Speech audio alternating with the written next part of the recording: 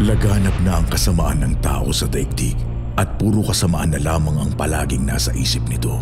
Lilipulin ko ang lahat ng taong aking nilalang. Ikinalulungkot kong nilalang ko pa.